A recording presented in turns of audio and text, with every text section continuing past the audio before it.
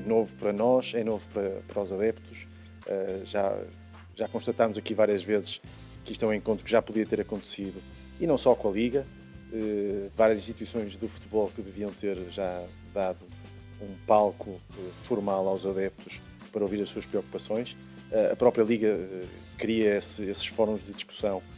ao longo do ano e faltava este que, com a reunião de hoje, parece que vai ser, pelo menos, começar a ser colmatado e esperamos tirar hoje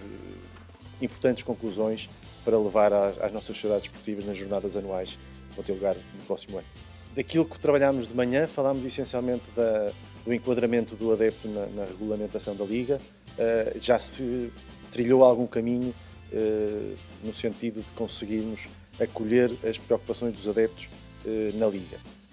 houve alguma necessidade de, de os ouvir, eles também de se expressarem, e hum, as primeiras conclusões são que faz sentido regulamentarmos também a figura do adepto, acolhemos-la na, na regulamentação da Liga, por forma não só a reconhecer os direitos que sabemos que eles têm que ter, mas também exigir deles alguma, alguns deveres e algumas formas de conduta que estamos plenamente alinhados eh, de quais devem ser de parte a parte. É esse o objetivo, é que trazer os adeptos para dentro da casa do futebol profissional que funciona todos os dias no sentido de lhes criar eh, um espetáculo eh, que eles são destinatários, são, são os adeptos, é para eles que trabalhamos eh, todas as jornadas e é para, para lhes agradar e para lhes dar um espetáculo interessante em que eles também queiram participar como 12 jogador, como já foi aqui referido muitas vezes, para termos um, um conjunto que integra o espetáculo desportivo que tem lugar dentro das quatro linhas e todo o espetáculo à volta desse, desse mesmo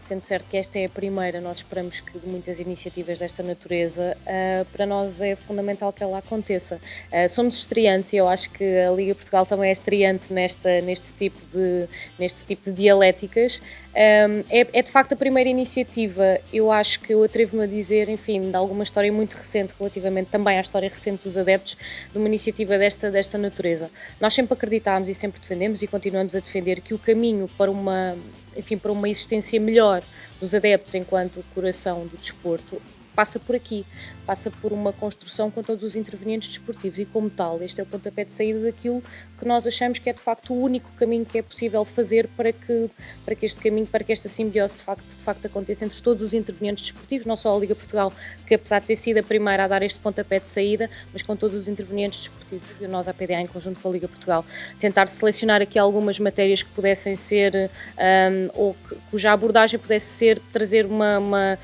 um resultado mais efetivo e mais objetivo curto prazo. Temos questões relacionadas com os horários e, e assuntos relacionados com a bilhética, eh, nomeadamente até preços de bilhetes, que são assuntos que são conhecidos como preocupações nossas. Uh, temos assuntos agora relacionados com materiais de apoio uh, de adeptos e, nomeadamente, também grupos organizados de adeptos e o papel do, do, do próprio promotor uh, da Liga Portugal e a perspectiva também dos adeptos, que é um, que é um tema que tem sido falado e debatido muito recentemente até nos meios de comunicação social, portanto é um tema que é recente. temos temas fundamentais como a própria inserção inserção do adepto uh, legalmente ou uh, nos regulamentos da Liga, na própria legislação, a própria definição do conceito e, sobretudo, dos seus direitos um, ehm, que, que, atualmente são, estão muito dispersos ou aparentemente não existem ou vão existindo aqui e ali, que nós nem sabemos muito bem ainda quais são e também, naturalmente, como é que eles convivem com os deveres. Sim, acho que é, que é uma prova uh, indubitável que existe muita vontade da parte da Liga de Portugal um, de proteger o espetáculo desportivo, dando a palavra também aos adeptos e acolhendo quais são as suas preocupações e nós já tivemos essa oportunidade de endereçar os nossos parabéns porque foi de facto a primeira instituição que tomou, uh, que tomou este, esta, esta iniciativa, esta iniciativa proativa de fazer alguma coisa e de acolher as nossas preocupações. Ora, muito bem, em primeiro lugar, muito obrigado pela, pela recepção da Liga Portugal aos adeptos que neste momento se encontram uh, cada vez mais em parceria com os vários agentes do futebol em Portugal interessados na, na sua proteção e, portanto, é um gosto estarmos aqui e uh, transmite-nos um misto de sensação, de sensações. Ora, por um lado, uma sensação de que este caminho está a iniciar-se neste momento e, portanto, uh, temos um longo caminho a percorrer para podermos articular os nossos desejos, as possibilidades que a Liga que a Liga uh, tem e as ferramentas que os outros agentes desportivos também, também têm. E por outro lado, é, um, é um, uma sensação de uh, esperança para uh, conseguirmos alcançar uma, uma concomitância de, de interesses e de valores para a defesa do adepto. Claramente, tem muitas pernas para andar. Eh, é a primeira iniciativa e a Liga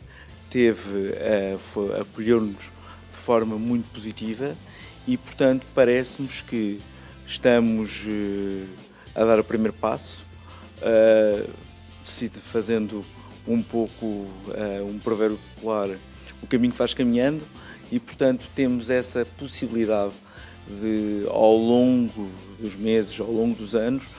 cada vez mais organizar as iniciativas em conjunto com a Liga e chegarmos a bom passo e ao que pretendemos em último lugar, que é a regulamentação mais concreta do adepto em Portugal.